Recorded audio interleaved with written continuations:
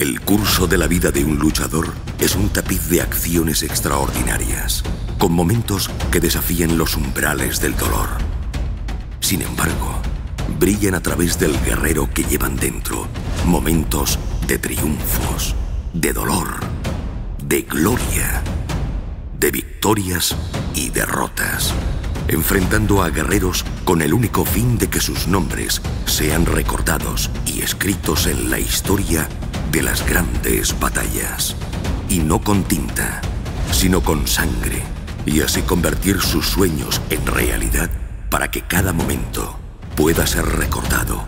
Porque el mejor guerrero no es el que triunfa siempre, sino el que vuelve sin miedo a la batalla.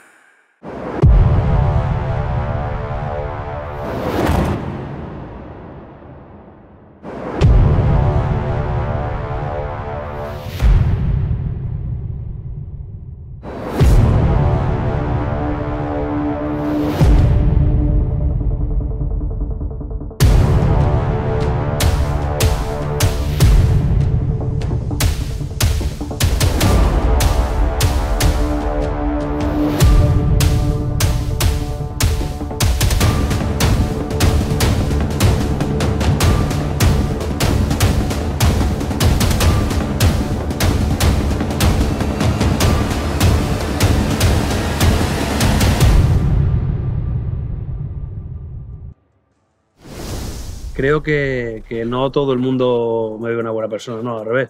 Dice, hola, soy Julio el Feroz. Julio el Feroz.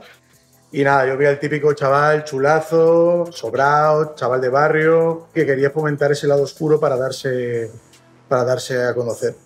Que es un bruto, que no se puede hablar con él, ¿sabes? Que es un vacilón, que, que va por ahí repartiendo hostias. Porque la gente piensa que es un chulo, que es un gilipollas, que es un, un mal tío, en verdad. Subnormal, un tipo que pone caras raras, alguien desagradable, pues... Sí, una presencia muy arrogante. Un poco de macarrilla.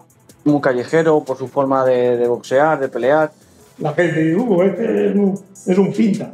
La impresión que me da a mí que era un, un, gilipollas. Es la peor persona del mundo. Como que es un chulo, un vacilón, un pandillero, un gilipollas. Eh, agresivo, ir para adelante. Lo recuerdo un poquito va la perdida. Porque se le ha puesto la etiqueta de que era, ha sido un niño rebelde y no es así. Julio simplemente es un chaval duro. Esta es mi apariencia. Ya cuando tú me conoces, tú realmente ves cómo soy. And now for the sold out thousands in attendance here at the Mandalay Bay of Las Vegas and the millions watching around the world. This is the moment we've all been waiting for. It's champion versus champion. From Madrid, España, junior middleweight, the Aztec Warrior, El Feroz Feroce. Ladies and gentlemen, uh, let's get ready to rumble. Nací en Madrid y en Benidorm seguí el legado. Lejos de aquí me fui y conocí a un hermano. Mi ídolo el feroz, Fernando Vargas, mexicano. Por eso soy el feroz, yo soy Julio Granado. Yo recuerdo mi infancia eh, y recuerdo haber sido. Recuerdo que era un chaval bueno. Julio de pequeño fue un niño educado, correcto, fue muy buen niño. Muy cariñoso y muy, y muy, y muy, y muy, y muy rico, muy majo.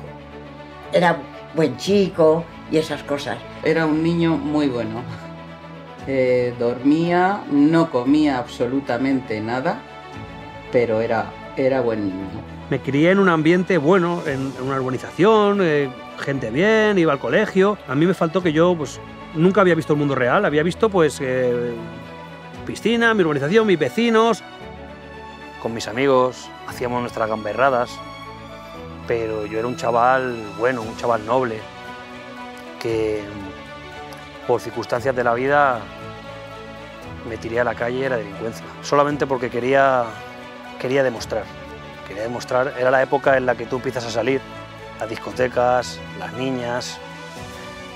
Hay personas que en esa edad piensan en sacarse una carrera y buscarse un futuro, y otros gilipollas como yo en demostrar a las niñas y a los chavales lo malo que eres y el respeto que puedes ganarte en la calle.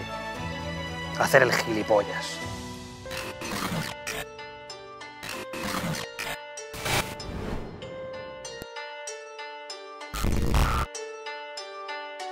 Hace tiempo que en la calle mato la inocencia, controlamos esquinas, somos expertos en la materia. La calle Las huellas del delito. ¿Quién habrá sido el hijo de puta que el coche así? Ay, chaval. ¿Quién habrá sido el hijo de puta que le ha destrozado el coche? con la sonrisa dos metros bajo el cemento. No aseguramos que sea la última, aseguramos que es la última del 2004.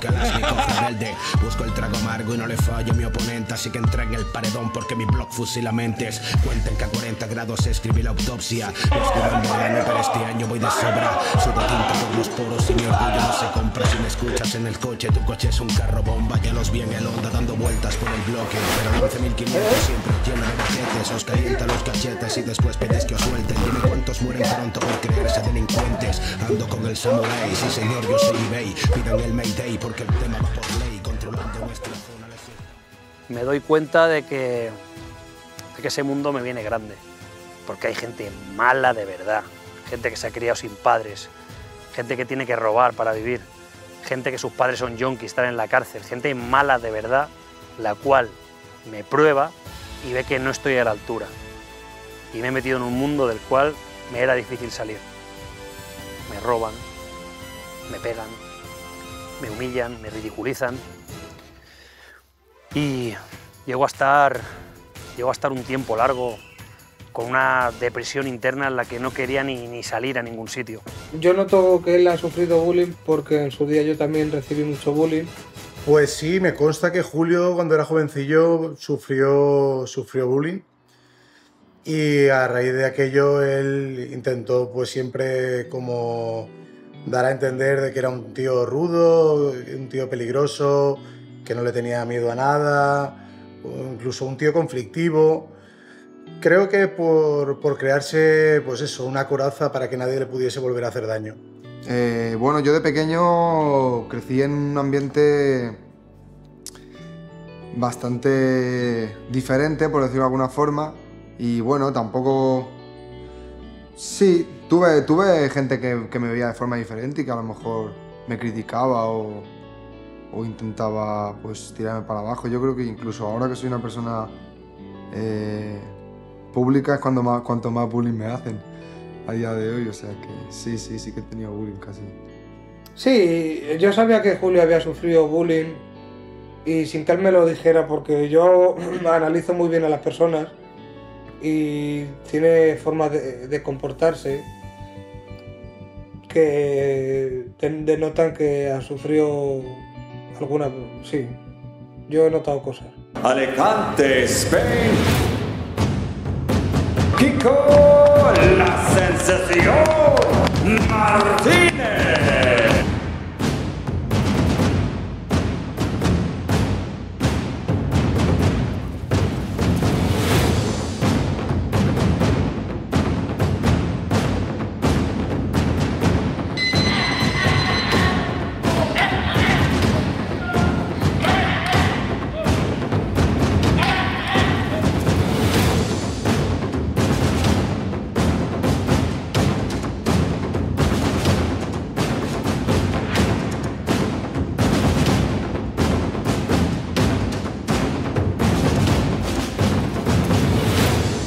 Mismo yo empecé en el gimnasio por, por, por, por ese motivo, ¿no? Yo vivía en Torrellano, eh, mis padres trabajaban en un bar, eh, eh, mi madre tenía unos recreativos, entonces constantemente yo y mis hermanos estábamos en la calle.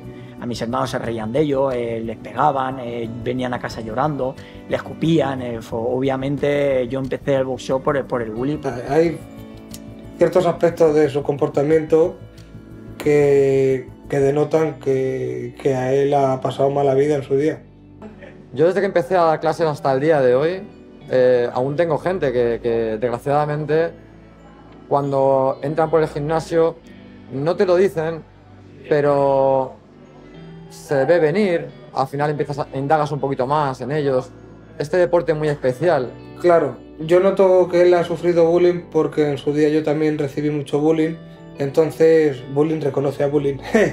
Ese tipo de gente, realmente ellos se sienten pequeños y quieren empequeñecer a lo mejor a gente que no se siente tan pequeño. Después de estar un, un tiempo largo pensando en qué iba a hacer con mi vida, decido que hasta aquí hemos llegado. que tenía dos caminos. Salir y afrontar dónde me había metido o agachar la cabeza y que todo el mundo me tomara por idiota. Entonces decidí que iba a ganarme el respeto de la gente y de la calle con mis cojones. Por lo típico. Empecé a pelear en la calle, a pelear con la gente. El de un barrio, el de otro, el que habla mal de ti, el que se ha peleado con tu amigo, el que te ha dicho tal o el que te ha mirado mal. Cosas de niñatos. Robábamos coches, robábamos motos. Y son cosas de las cuales me arrepentiré toda mi vida. Coche para fiesta, fiesta, ¿sabes? Ahora se lo deja ahí en la gasolinera. Se coge el otro. Voy hambriento. Me echo mano a mano con el diablo que el infierno y moriré con la sonrisa dos metros Hay más el fuentes de la fiesta, Escribo ¿eh? Cada párrafo ya estallo como un tomate. Así voz fusilamentes. Cuenten que a 40 grados escribí la autopsia. No escribo este año de sobra. Que Afoncito dice. Pilla. Le ha salido agua putrefacta, bola. Pero los cachetes y después te suelten. Dime cuántos mueren pronto por creerse delincuentes. Ando con el samurai, sí señor, yo soy eBay. Pidan el Mayday porque el tema va por ley. Con zona le soltamos este pepino desde el a los milagros para la puerta del casino. Tenemos estilo como un Lamborghini aventador. Pocos aguantan el destello de este resplandor. Os salgo de caza por una amenaza de las tuyas. Salimos por ti, tenemos vigila tu casa, no huyas, huyas de novatitos. Yo ya las pasé, ya tenemos un nombre y en la calle siempre nos dan fe. Quien se quiere al frente, aquí no existe miedo. Respaldado por la calle, por los real y los guerreros. De los buenos, los que saben oler sangre. Los que en la calle se han movido por paliar hambre. Esos son mis hombres, los nombres son todos. Ese que con la music, 11.500 el trono. Aquí no hay miedo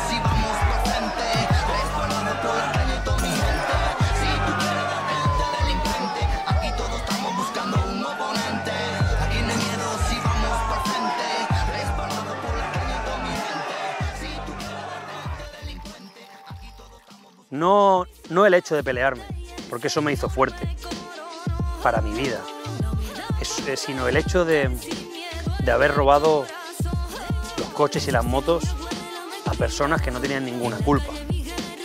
Personas que, que- trabajaban para pagar sus coches, para vivir, para poder comer, para buscarse la vida y, y- y niñatos como nosotros les robábamos sus coches solamente para irnos a una discoteca a 100 kilómetros de aquí y luego dejar el coche por ahí tirado. Robábamos motos para montarlas sobre motos destrozadas que nos habían costado 50 euros, las desmontábamos enteras, las montábamos y las vendíamos. Y son cosas de las cuales estaré toda la vida arrepentido.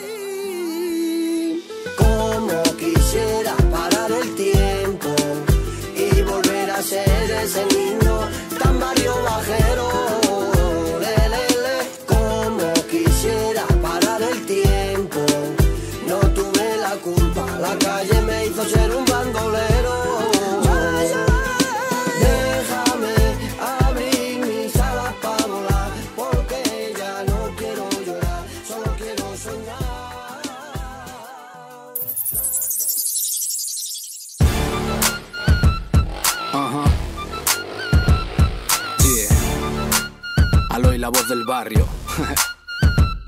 Vamos a hacer que tiemble la calle de nuevo. Flama Music. Ha vuelto el barrio bajero. En la calle el fuerte sobrevive. Yo te cuento aquí cómo se vive. Vivo gracias a lo que mi mano escribe. Ellos no valen, ellos no sirven. En la calle el fuerte sobrevive. Yo te cuento aquí cómo se vive. Vivo gracias a lo que mi mano escribe. Ellos no valen, ellos no sirven. Si quieren mi cinturón van a tener que pelear. Aquí se vive y se sobrevive para triunfar. Aquí nadie regala nada y como podrás comprobar, antes muerto que en la cárcel como Pablo Escobar. Tatuado arriba abajo, no me importa un carajo. Hacer dinero con la música, este es mi único trabajo. Y si no encajo en vuestra imagen de rapero, os diré que gracias a vosotros tengo dos casas y vivo bien. Vengo de la calle y de esto no me olvido. Vivo todo lo que escribo, escribo todo lo que vivo. Si compites conmigo, mejor pide ayuda. Sería como comparar a Héctor el Father con Maluma. Solo Dios puede juzgarme, vosotros no. ¿Quién os creéis, mocosos? Vete pa' casa y no pronuncien mi nombre en tu boca. Mi vida loca se nota, te matamos por chota. En la calle el fuerte sobrevive. Yo te cuento aquí cómo se vive. Vivo gracias a lo que mi mano escribe. Ellos no valen, ellos no sirven. En la calle el fuerte sobrevive. Yo te cuento aquí cómo se vive. Vivo gracias a lo que mi mano escribe. Ellos no valen, ellos no sirven. Ahora muchos van de líder, pero eso no es cierto. Se olvidan que hacían cola para entrar a mis conciertos. Yo no soy el líder, soy Aloy y punto. Tú eres un tonto y por eso se ríe de ti todo el mundo. Hay que pasar mucho en la vida para poderlo contar. Yo sí sé lo que es la cárcel y no tener libertad. Yo sí sé lo que es ver a un hijo a través de un cristal. Yo sé que la vida es dura y por eso le he echado un par. Caída tras caída me tuve que levantar. Los golpes de la vida los aprendí a esquivar. Y aunque yo no soy Mayweather, me siento como él. Pues he tenido mil rivales y nadie me ha hecho perder. Aloy, ¿dónde está tu límite? En las nubes. Aloy, ¿dónde está tu competencia? Nunca tuve. Yo no canto para ser el mejor, mi pana. Yo canto para que a mi hijo en la vida no le falte nada. En la calle el fuerte sobrevive. Yo te cuento aquí cómo se vive. Vivo gracias a lo que mi mano escribe. Ellos no valen, ellos no sirven. En la calle el fuerte sobrevive. Yo te cuento aquí cómo se vive. Vivo gracias a lo que mi mano escribe. Ellos no valen, ellos no sirven. Ya era hora que alguien trajese el rap barrio bajero de nuevo a las calles. yeah. Dímelo, Andy. Directamente desde el barrio El Corralón. Ha vuelto el de siempre, el que nunca se fue. Flama Music, Selecta Inc. Yo soy Aloy, la voz del barrio.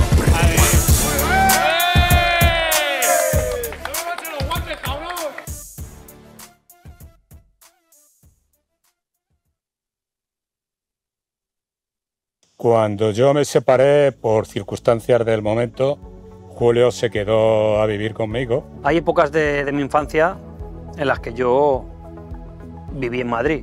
La mayor parte de mi vida la viví en Benidorm, pero hay otros muchos años en los que viví en Madrid. Siempre recordaré a mis abuelos con, un gran cariño, con un amor que, no se puede escribir, porque ellos me, cuidaron y me criaron como, a un hijo. Gracias a mi madre yo fui feliz, ya que ella sacrificó el, irse a Madrid y dejar a su hijo aquí, donde era feliz, porque creo que muchos niños tienen trastornos de pequeño, porque cuando sus padres se separan, eh, pues a lo mejor tanto el padre como la madre pone problemas, impedimentos, y al final a quien hacen daño es al niño. En este caso mi madre sacrificó el no vivir con su hijo para que yo fuera feliz. Por ello siempre, siempre, siempre amaré a mi madre, igual que ella me ama a mí. Mi madre tuvo que venir a vivir con nosotros y mi madre le ha criado y ha supuesto mucho para él. Pues, mis recuerdos eran pues, con mi abuela. Mi abuela era quien me daba de comer, quien me daba de cenar, quien me despertaba para ir al colegio. Mi abuela ha sido mi vida. Comíamos juntos, ve- veíamos películas juntos. Lo recuerdo como si fuera ayer. Parte de los valores que tiene Julio, eh, sí, se deben a mi madre. Acabamos de llegar de trabajar de mi templo Richard Niruk Benidorm. Y estoy aquí, mira quién tenemos despierta. ¿eh? Conmigo estás. Haciendo una sopa de letras. ¿Eh? ¿Ya, ya? Sí, sí. Aquí tenemos a, Hoy con la boca abierta, mira qué guapa estoy. a mi abuela haciendo... Tú estás guapa siempre, ya, ya. Sí, sí. Claro que sí, está guapísima. Nunca olvidaré los macarrones con queso, eh, las hamburguesas, las pizzas, todo me dejaba...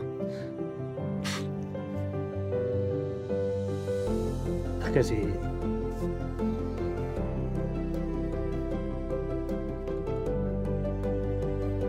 Haciendo su sopa de letras. ¿eh? Y nada, venimos a darle los buenos días. Y tengo puesta la toquilla esta y todo. Claro, porque hace frío ya. Ya no estamos en agosto. Estamos casi en, en invierno. Pues nada, ya, ya. Saluda a tu gente. Saluda a tu gente que te ve todos los días. Ah, qué gente. La gente que te ve, que ya te conoce, ya, ya te conoce, ya te quiere, claro. Dirán, pues sí que está guapa, ¿eh? Oh. Bueno, gente. Sí, ella, ella realmente es- me crió como un hijo. Me crió como un hijo, sí. Solo recuerdo que su intención siempre era que, que yo estuviera junto con mi padre. Siempre me decía, tú nunca te separes de tu padre. Tú siempre, tu padre y tú, era como, como su ilusión. O sea, como que el día que ella muriera, quería que estuviese junto con mi padre siempre. Te deseamos todos cumpleaños feliz. Yo, hubo una época, eh, un momento, no sé cuándo, en el que llegas y dices, mi abuela está mayor. Y sabes que le queda poco. No sabes por qué, pero sabes que le queda poco. Y estuve, pues yo qué sé, tuve años que, que con ese miedo. Un poco mayor, pero es ley de vida. ¿eh? Que la gente tiene que llegar a esa edad. Hay algunos que no llegan. Eso es, y yo he llegado. Pero cuando llega, uf, fuerte. Es fuerte porque, porque era mi madre. Y tengo a mi madre, yo no quiero que mi madre diga, "Ah, es que no me consideran madre, pero es que ya me crió. Entonces, han pasado dos años y no. Si me acuerdo, pues es así. Por eso aún no he visto un vídeo con mi abuela. Cuéntanos tu experiencia otro día en el mercado de Yaya, que para ti esto es nuevo. Ah, pues mira, en el Mercadona me paró una chica para decirme que si yo era la abuela de Julio, el feroz. Y dije, sí, hija, es que le conoces. Y me dijo, sí, os he visto a los dos, sois iguales de guapos y él es tan guapo como su abuela. ¿Y luego en la caja cobrando también te Eh, pasó? sí, una cajera también. Me dijo, ¿tú eres la abuela de Julio? Y le dije, sí. Y dice, es que yo le conozco mucho a Julio. ¿O vives aquí? Y dice, sí, vivo en Benidorm. Podéis ver, ¿eh? que la ven en Mercadona, la paran. Se ha hecho ya la número uno. Pues nada, os queremos felicitar la Navidad a todos, ¿vale? Este es mi mensaje de feliz Navidad para toda la gente que me sigue y me apoya, todo el escuadrón feroz, con la espartana, con la comandante en jefe. Sí, sí, yo también los felicito a todos. Feliz Navidad a todos. Que nos veis. Gente la quería mucho en las redes sociales. Yo hacía vídeos con ella, merendando, en el- y, y aún no he podido ver un vídeo. Y todavía he ido a la peluquería a arreglarme el pelo. Para estar más paja. Fíjate. Pues nada, gente. Buenas noches y buen fin de semana. Buen fin, que lo paséis bien. De hecho, estuve un año sin entrar a casa de, mi abuela, que es mi casa. Eh, y nunca pude. Nunca pude. Tardé un año en entrar a la casa. Estuvo vacía. No entró nadie. Me dijeron, ¿quieres alquilarla? No, no, no, no, no. A ver, que sabe mi abuela cómo está. Pero. Pues eso. me cuesta. Me cuesta mucho. No acordarme de ella. Sí, yo creo que ya lo sabía. Pero siempre te arrepientes de no haber estado más tiempo con ella, de... Mi madre me lo decía. Te vas a arrepentir porque tendrás que ir más a verla. Y toda la gente que, que pueda hacerlo aún, yo le diría que lo hicieran porque se van a arrepentir mucho, mucho, mucho de no, de no haberlo hecho. El día, el día que se fue, el día que se fue dije, y lo pensé para adentro y lo haría, dije, daría todo lo que tengo, todo, por volver a verla una vez más y darle un abrazo y decirle que la quiero mucho y que, y que era lo más importante de mi vida.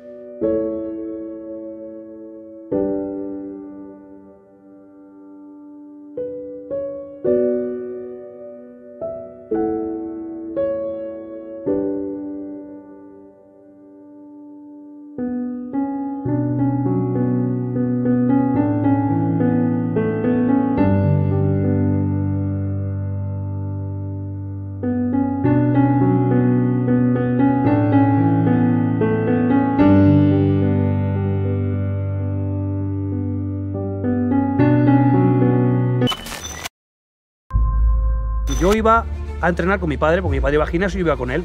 Entonces un día me apuntó, ya tendría ya a lo mejor nueve años, y entonces ya me apuntó a, a kickboxing infantil, de niños. Entonces yo me apunté y no sé por qué kickboxing ya me motivó. Ya me motivó y yo creo que no sería solo el kickboxing, sino el, el, el profesor que tuve, ¿no? El maestro que era que, que me motivaba mucho a, a- a- y, me, y me hizo motivarme para, para pelear y le dijo a mi padre, recuerdo que le dijo a mi padre, este chaval vale para pelear. Y no sé, me vine arriba, dije, va, yo soy bueno para esto. Y cuando tú te sientes bueno y la gente te ve bueno, pues empecé a, y, y empecé a pelear. Entonces, pues me motivó mucho, me gustó mucho y, y peleé hasta, hasta ser varias veces campeón de España.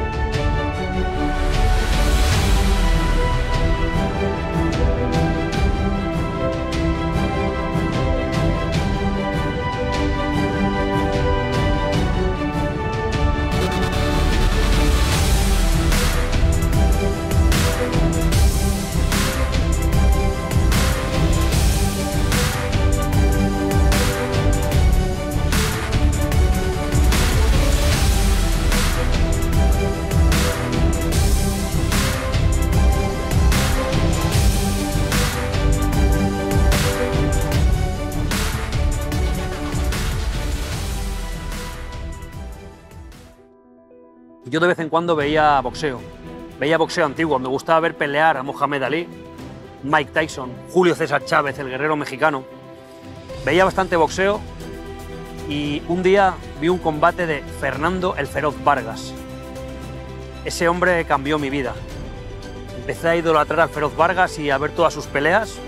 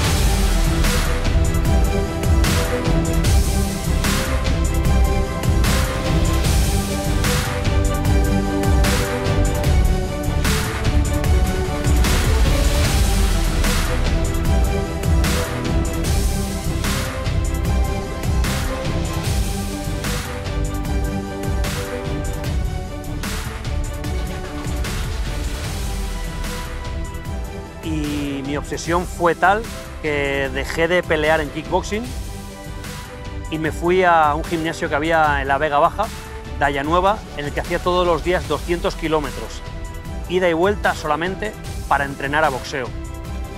Porque mi sueño era ser un boxeador profesional y ser como el Feroz Vargas. Yo quería ser como el Feroz Vargas. Digo, yo algún día voy a ser como él. Y quería ser como él. Peleaba con los colores de México, me hice mis pantalones de colores de México. eh, yo empecé a pelear, me, fui, me, me iba 100 kilómetros de ida y 100 de vuelta, porque era el único gimnasio que había para hacer boxeo, para poder entrenar boxeo. Todo ello porque quería ser como Fernando Vargas. Julio era muy conocido entre el mundo del boxeo porque ha sido un boxeador que se ha peleado siempre con, con el que le hayan dicho y un tío valiente y es, conocido. Eh, Julio como boxeador era disciplinado, siempre ha sido un guerrero y sé que ir a la guerra eh, le gustaba. A la hora de pelear, dicen que, dicen que en boxeo uno, pelea como es. Y en parte tiene razón. Porque Julio es tiene mucho temperamento, es, es muy, es muy nervioso. Eh, de hecho, Julio pues tenía que entrenar y saber dosificarse, saber llevar un poco los tiempos del ring. Em, pero Julio, mira que ha tenido rivales complicados, que se sabía con antelación que, era- que eran complicados. Y Julio subía al ring y, a valor no le ganaba a nadie. Pues Julio era una persona muy inquieta, ¿no? Era una persona que era como polvorilla, ¿no? Que, que entra al gimnasio nervioso, eh, eh, quiero hacerlo mejor que nadie, eh, quiero pelear más que nadie. Era una persona muy inquieta. Yo recuerdo a él cuando lo conocí en el gimnasio, que entrenamos un- en un gimnasio de la Vega Baja y la primera vez que entró por la puerta era me voy a comer el gimnasio. eh, me voy a comer a todo y voy a ser el mejor. Eh, creo que el boxeo le- le, le, le ordenó, le ordenó muchísimo a Julio. Eh, De cuando escuché hablar de boxeo aquí por España, del que se hablaba era uno de los que se hablaba era de Julio, ¿no? De que era un boxeador. Después él decidió pues darle otra dirección a, a su vida y a su carrera. Y si no, pues yo creo que hubiera sido uno de los grandes.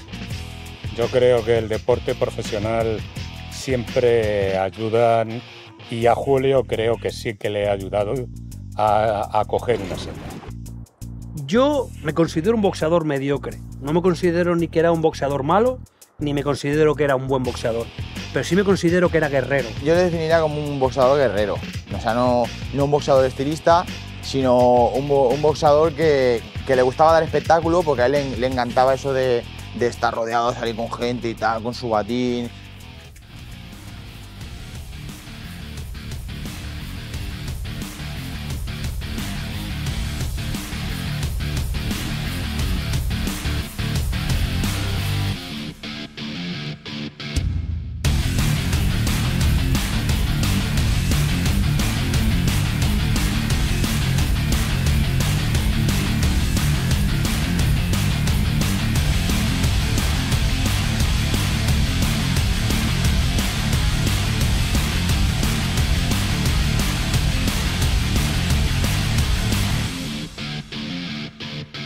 Yo, desde que sonaba, empezaba a sonar mi canción para salir hasta la esquina del cuadrilátero, yo solamente, desde que salía, solamente miraba a mi rival.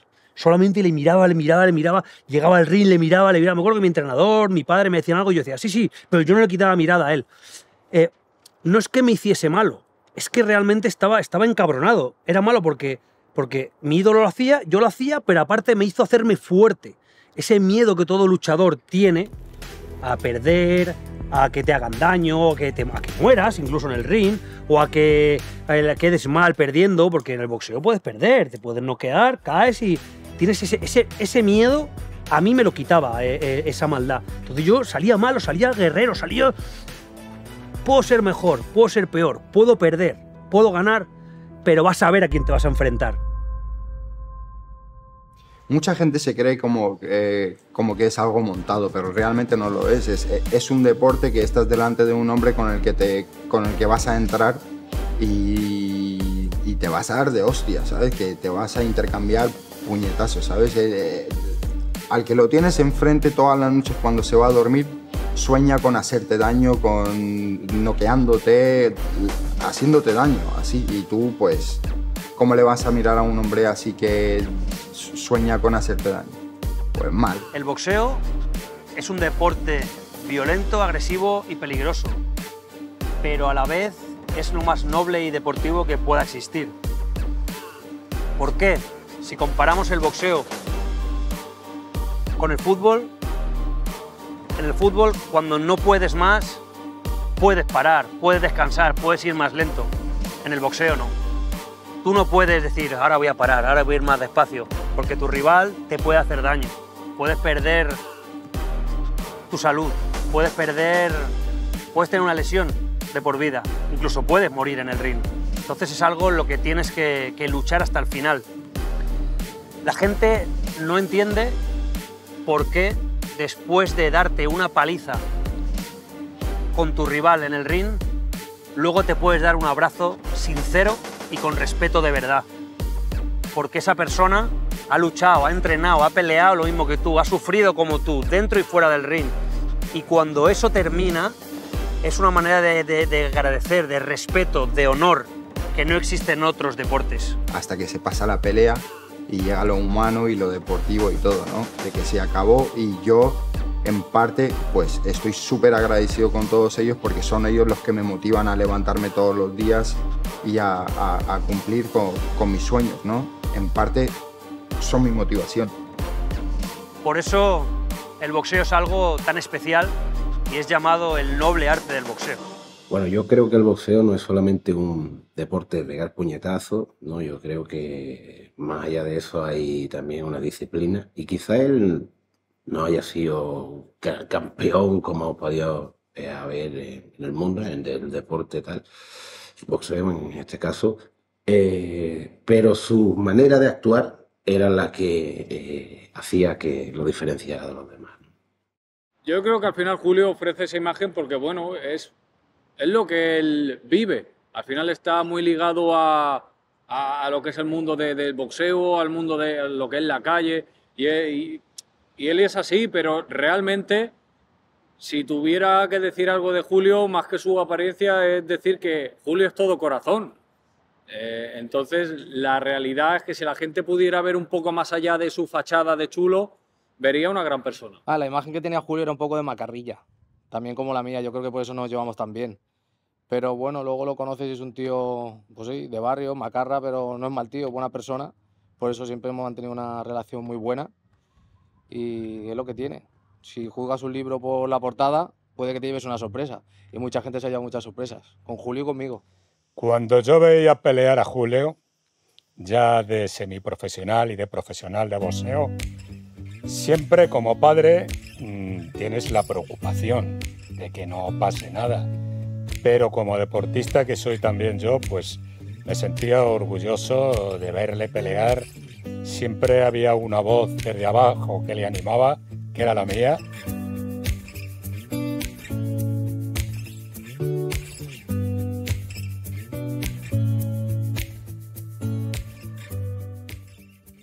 Desde mi infancia, para mí, mi referente en la vida siempre ha sido mi padre. Lo es, lo ha sido y lo será toda mi vida. Realmente estaba tranquilo porque casi todas las peleas las ha ganado. Como boxeador yo te puedo decir que yo no soy boxeador, pero el estilo que él tiene, aunque tú no sepas de boxeo, sabes que es diferente. Es diferente en todo. O sea, más americano, más negrata de Las Vegas, no sé. Y me gustaba eso de Julio. Porque en esos tiempos que él boxeaba, nadie hacía eso. Incluso los comentaristas hablaban de eso. Julio, con el estilo tan propio que tiene. Él salía con su batín, su espectáculo y tal, que si no lo conoces dices, ah, pero el flipado este quién es. Y en verdad, luego cuando lo conoces dices, eh, bueno, yo también lo digo, digo, la gente va, al boxeo y paga una entrada no para que esté la luz encendida, venga la pelea, ganador, venga fuera, no sé qué. No, pues es un espectáculo, ¿no? Sale, hostia, ¿cómo va a salir? ¿Con qué canción o tal? O, qué va a hacer ahora? Hostia, tal, no sé qué. Sale con toda la gente, se apagan las luces, no sé qué, la música. Entonces no deja de ser un espectáculo y es lo que hacía él. Yo creo que es un deporte que, que atrae a la gente, que, o sea, atrae a mucha gente, no solo a la gente que está en la calle, sino a mucha gente, pero a la gente que, está acostumbrada a sufrir en la calle y a ver lo que hay en la calle, pues es como que, le, da un extra, ¿vale? Cuando subía al ring, los movimientos que hacía, lo fácil que eso lo veías tú en los libertad que peleaban, tío. No, no lo veía en un boxeador español, lo mejor yo no lo he visto, eso lo veía él. Luego el rollo de llevar esas calzones que llevaba con, el rollo de Fernando Vargas, con la bandera de México y tal. El, el albornoz ese que ve, eso que se ponía. Todo eso era muy guapo, tío, la verdad. A mí me gustaba. Me molaba, me molaba. Hospitalet, hospitalet. Yeah, Rosa Rosario, 2006, somos representando el Green, el. Va los niños paseando las calles vacías, haciendo el gamberro y pintando cercanías. Tira piedras a esos trenes, rompe los cristales. Son chavales con puñales que mean en tus portales. De pequeño quería algo, yo solo quería ser bueno. De un pájaro quería el vuelo y de una serpiente el veneno. Soñé con volar, porque soñar es bueno. Soñé con bajarme del cielo a mi padre y mi abuelo. Como dice el refrán, de ilusiones se vive. Unos sueñan en hospitalet y otros en el Caribe. No lo olvides. Aquí no hay bidet, aquí huele la polla como ayer. Así tiene que oler. Yo también me siento El boxeo ha sido una, una forma de vida, ha marcado mi vida y la marcará para siempre. Yo estoy retirado, pero voy a una velada, veo el boxeo y me, parece que estoy ahí y digo, "Ah, mañana voy a entrenar otra vez para volver a pelear. El boxeo es mi vida, puedo tirarme hablando de boxeo horas con una persona que sabe de boxeo. Hmm. ¿Le gustaba ese estilo mm, mexicano, puro mexicano, mm, de matar o morir? Y si había que liarse a golpes con el rival, él, era el primero que, que echaba huevos y iba para adelante. Yo no es que quisiera ser boxeador. Me gustaba la lucha, me gustaba el deporte, me gustaba pelear, pero yo quería ser como mi ídolo.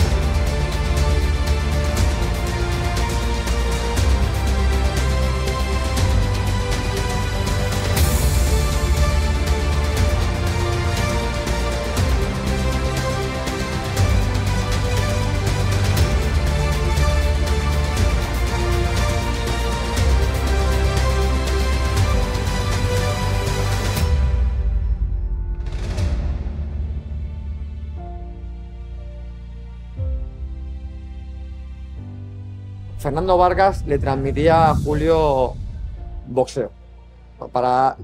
Con, el tiempo, para Julio eh, Vargas era boxeo, era eh, con lo que él soñaba eh, llegar y se convirtió de ser un boxeador el que admiraba a ser un ídolo y eso iba a más. Cada pelea que veía de Vargas iba, iba a más. Lo tenía tan idolatrado que yo era como alguien tan importante en mi vida que, que yo me ponía hasta triste cuando una vez perdió y, y bueno, mi, mi obsesión se hizo tan fuerte, que, tan fuerte que dije, yo voy a conocer a mi ídolo.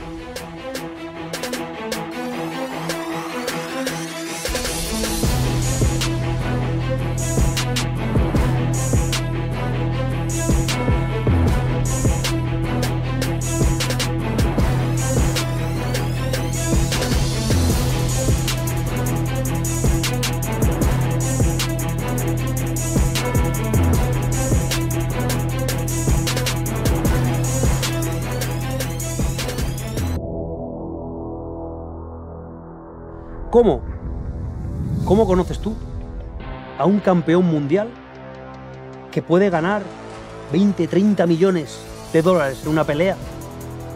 Bueno, se, siente bonito. De, de- de poder tener fans, fanáticos que te sigan así y pues sin conocerlos, te conocen a ti. Entonces para mí fue, es- siempre ha sido algo bien, bien bonito para mí que, que en verdad me, me, llena el corazón de, de amor porque en verdad la gente que, que- que me sigue me han seguido de, de todo el mundo. Entonces es algo bien bonito cuando vienen a verme, querer ver- verme pelear y luego tratar de conocerme. Mi obsesión y mi sueño de ser como el Feroz Vargas y, y- y poder conocerle algún día es tal que decido que, que voy a conocerle. Sí o sí, de la manera que sea, yo voy a conocer a mi ídolo Fernando el Feroz Vargas.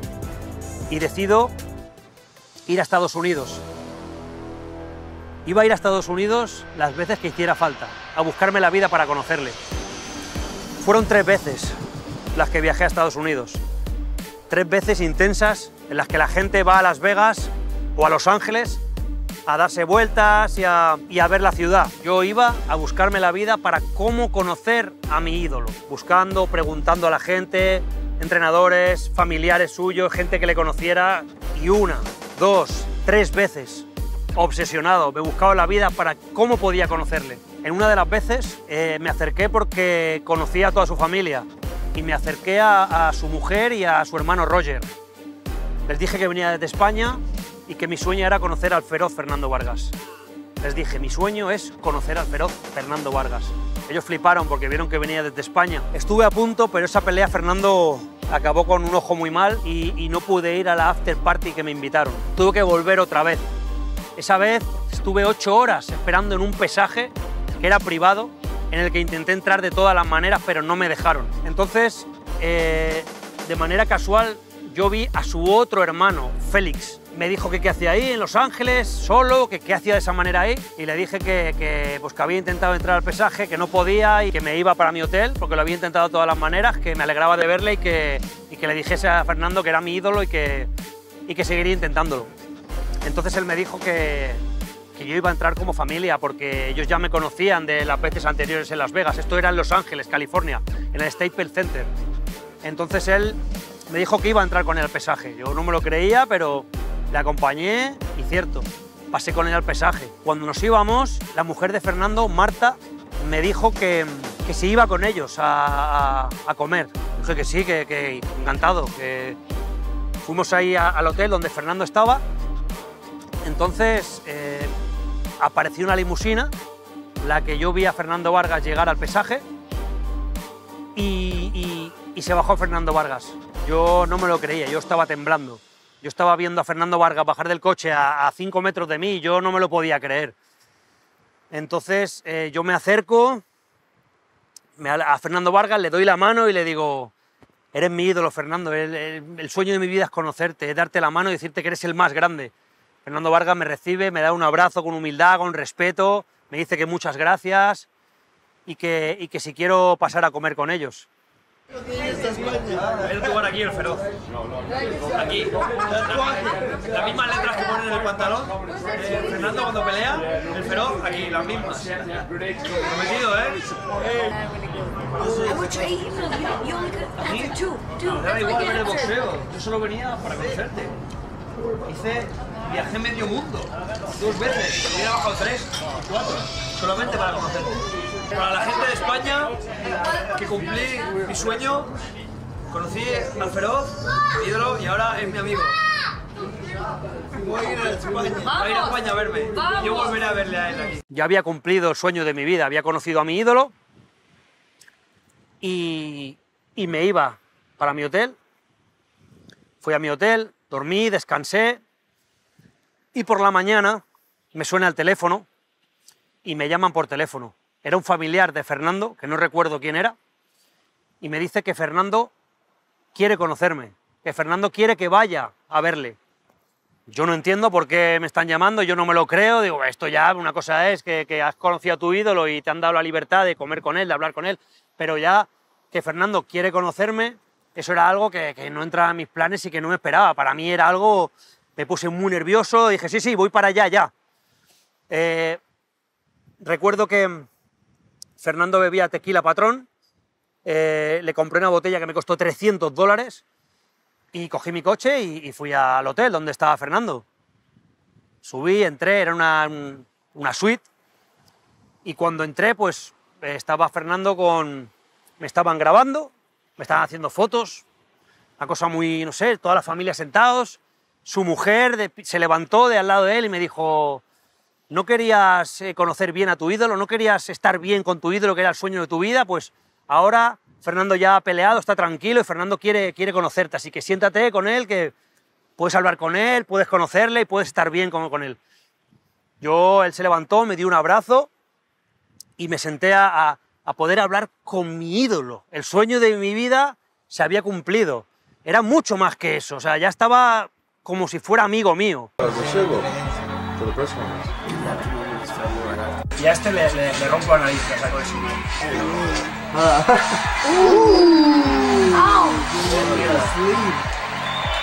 Excelente. Fue algo muy especial, fue una de las sensaciones más fuertes e impactantes que puede tener en mi vida. Cuando la gente tiene un sueño, debe de luchar por él hasta el final, porque nunca sabes hasta dónde puedes llegar.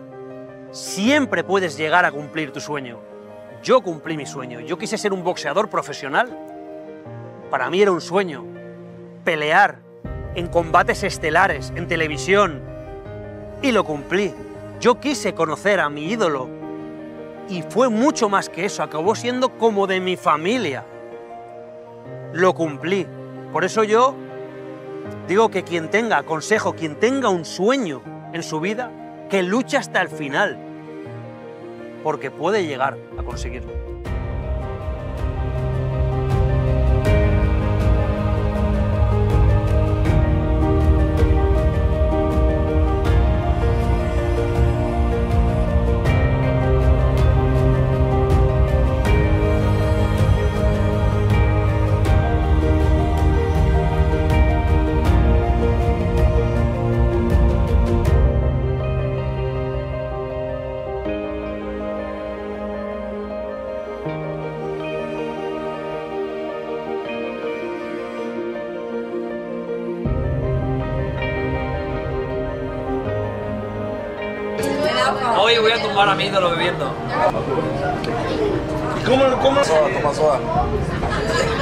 Y ahorita dijo, Estoy mareado, pero aún me queda, aún me queda. Bebiendo tequila, pero, pero no voy a poder porque me he tomado cuatro o cinco chupitos y estoy que me caigo. Y voy a intentar tumbarle. Voy a beber hasta que me caiga muerto. Vas a estar en feo. Vas a estar en feo, ¿verdad? He conocido a mi ídolo y estoy muy borracho, casi no puedo hablar. Yo también estoy borracho, pero... He bebido tequila Andamos. y, y le estoy, estoy pidiendo disculpas a todo el mundo por si digo algo que no viene a cuento. No hay ningún problema. Hey, Bueno, ese fin de semana fue bonito ¿ah? porque conocí a Julio y me enseñó fotos de él peleando en, en, en, um, en España con la bandera mexicana. Y yo le dije que más vale que, te- que, que- que tengas cuidado con eso porque te pueden hasta matar tu gente. Porque nosotros los, los mexicanos ganamos nuestra independencia de ustedes los españoles. Y él dice, a mí no me importa, pero, pero te van a matar, cabrón. Te van a matar, güey. ¿Cómo, ¿Cómo no? Estás usando los colores mexicanos así como yo los, use- los uso con el escudo mexicano en el medio de, los, de los chores. Y, y no, no les va a gustar mucha gente, mucha raza tuya. Tu gente le va a gustar, la gente española no, no le va a gustar que estás haciendo eso. A mí no me importa, pero yo voy a hacerlo porque tú eres mi ídolo. Entonces yo, yo en ese punto allí le dije, tú no eres, porque no me acuerdo qué era su sobrenombre, pienso que era el temible o, o no, no, no, no, ni me acuerdo. Pero ahí dijo que era, o no me acuerdo lo que era, pero ahí le, yo le dije, tú no eres el temible o el, no sé, me acuerdo el sobre- sobrenombre, tú eres el feroz de España, cabrón. Yo soy el feroz del mundo, tú eres el feroz de España. Y por eso le, le puse el feroz, porque eso tiene que ser muy feroz para, para usar los colores mexicanos en, en, um, en España, cuando sabiendo que nosotros los mexicanos ganamos nuestra independencia de los españoles. Yo llegué a España y ya el feroz, el feroz, el feroz, el feroz. Y, y así fue mi historia. A día de hoy, Fernando Vargas y yo somos íntimos amigos. Íntimos. He estado seis, siete veces en su casa, en su casa de Los Ángeles y la de Las Vegas. Y él ha venido a mi casa. Porque me dio su palabra que vendría a mi casa y así fue. Vino a mi casa. No, yo lo considero buen amigo, al Julio. Eh, fui para, para España, para Benidorm, y abrió su casa y- y ahí estuve con él, yo y mi esposa. Fuimos a su discoteca y pasamos buen tiempo, comimos, compartimos buenos, bonitos tiempos juntos y, y siempre voy a pensar que él es más de, que un fanático. Yo pienso que es un, un buen, muy buen amigo mío que lo estimo y me estima a mí mucho. Y entonces yo, para mí es lo que es, para mí es un buen, muy, muy buen amigo. realmente nunca, nunca, nunca me retiré, nunca decidí dejar de pelear. Eh, simplemente mi vida cambia en el momento en el que la fama llama a mi puerta. Eh, empiezo a ser conocido por el boxeo, peleo en Canal Plus, me llaman para hacer videoclips los raperos del momento famosos, Aloy, Nino Vargas. La experiencia de, trabajar con Julio fue buena, pero, pero tiene gracia porque era de las primeras veces que yo lo conocía. Y claro, yo entré a, grabar y estábamos en su gimnasio, estaba allí con toda su ganga, con toda su gente, ¿sabes? Estaban todos allí entrenando, eh, unos bichos así, ¿sabes? Pero, pero luego fue, vamos, eh, todo fluido, eh, a la hora de actuar, casi que hasta nos pusimos serios, o sea, Julio se ponía tan serio que parecía de verdad, yo veía a los chavales que estaban actuando y los veía como, porque justo esa parte no actuaba yo, actuaban unos muchachos y los muchachos no conocían de nada Julio. Entonces los muchachos estaban como acojonados, estaban como asustados porque, porque Julio se pone en su papel y se pone serio, se puso súper serio en el, en el papel. Y se nota mucho en el vídeo, en el vídeo se lo ve súper serio.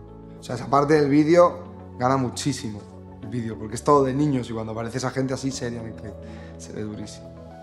se me crea una pequeña fama ahí que me hago ya un poco con un poco de nombre y sin yo quererlo ya era un poco famoso en España. Entonces, ¿qué pasa? Que deciden llamarme del reality más importante de la televisión y mi vida cambia en ese momento. Mi vida da un cambio brutal. Eh, entonces, ¿yo qué decidí? Julio, ¿qué haces? ¿Decides el camino del boxeo, que es el que te, te- te va a llevar a tus sueños, pero no vas a ganar dinero? ¿O decides el camino de la televisión, los eventos, los bolos, coges una discoteca, la llevas, la haces funcionar y ganas dinero. Pues el boxeo, por desgracia, no da dinero, a no ser que seas un campeón mundial, al menos en España. Y aún así, hay campeones mundiales que han tenido que seguir trabajando, porque Estados Unidos no es España. Entonces yo decidí el camino más inteligente.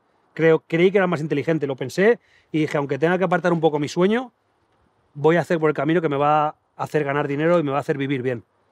Y así fue. Continué mi camino por la fama, monté una discoteca, fue la número uno de España en el Beni- Benidorm, todo el mundo la conocía en Benidorm, donde hacían los bolos más importantes. Julio es una de las pocas personas que yo conozco que es 100% real, en el sentido de que a él le da igual que tú tengas un millón de seguidores a que tú seas eh, el último clavo, ¿me entiendes? Porque a mí cuando me conoció yo no era nadie, yo estaba empezando, yo era un chavalillo del barrio y la verdad que él fue uno de los primeros que me dio la mano en el sentido de mis primeros bolos.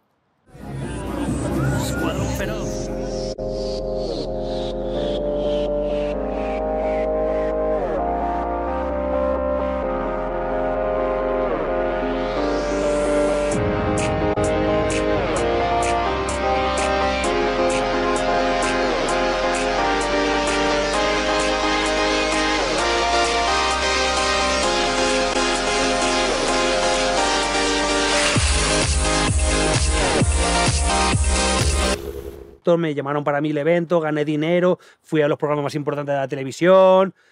La verdad es que no me puedo quejar porque, porque todo me fue bien. Gracias a, a Telecinco y, y a Gran Hermano, siempre les estaré agradecido porque gracias a ellos yo mi vida fue mucho mejor.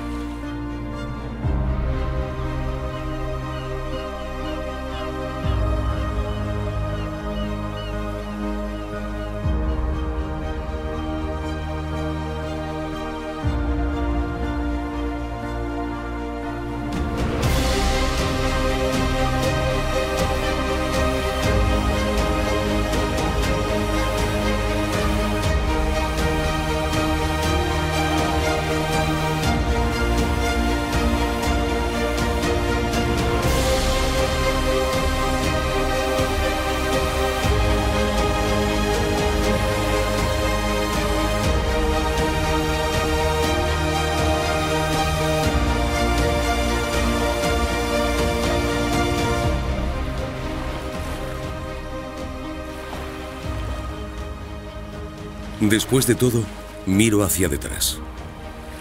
Un camino duro donde no hay ya nada que justificar. Solo aprender y avanzar.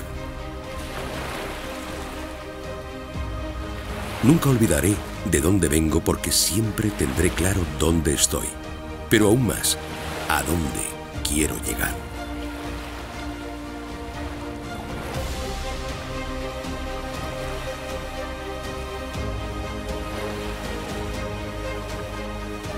Ahora veo el horizonte. Lo tengo claro. Tengo objetivos que materializar. La vida me ha enseñado a intentar ser el mejor, pero siempre siendo una más con la humildad y tesón de un guerrero.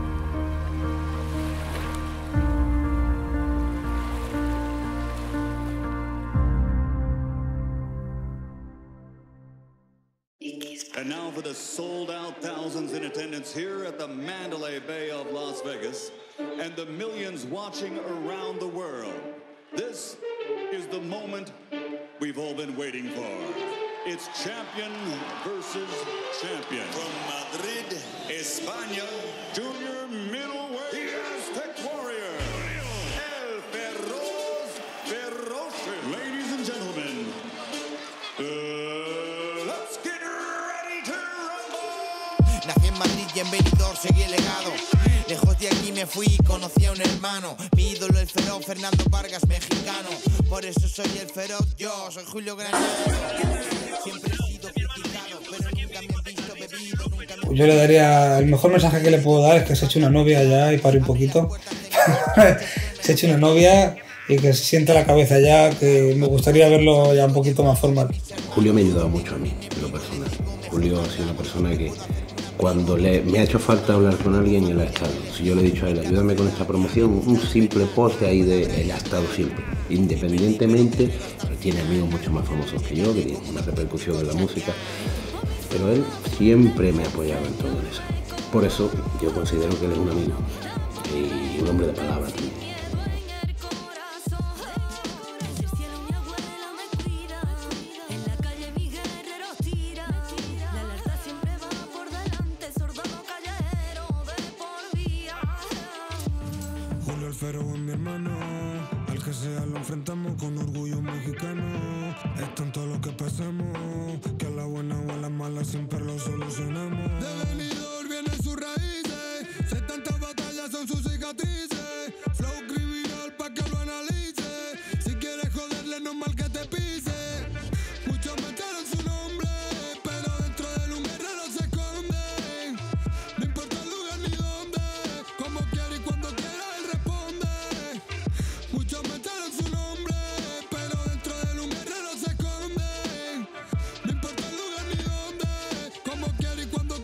Julio, brother, tú sabes que.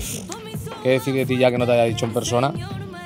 Que, tío, parece que nos conocimos ayer y ya van 11 o 12 años. Muchísimas gracias, tío, por hacerme parte de tu vida, por darme tu amistad, por ser leal y por aguantarme, porque si tú eres inaguantable, yo soy tres veces peor y siempre has estado ahí, cabrón. Eres un guerrero, aquí tienes un soldado siempre para todas tus batallas y muchísimas gracias por, ser mi amigo y aquí hasta la muerte, hermano. Cuadro Fred. Bueno, Julio, ha sido un placer tenerte como, como amigo durante todos estos años. Para mí es un orgullo tener, tenerte como un amigo y espero que sigas así, sigas así de, de, de humilde y de, de como tú eres. La verdad que, que me alegro de tenerte. Pues, ¿Qué pasa, Julio? ¿Cuánto tiempo? ¿Cuánto tiempo que nos conocemos ya, eh? Desde que voy al bar, desde que iba al club tuyo, a Richard, hasta que me presentó el patrón, a ti y a toda tu gente allí, y me dijo que erais colegas, y las que pasaremos. Y las que pasaremos. Julio, ánimo.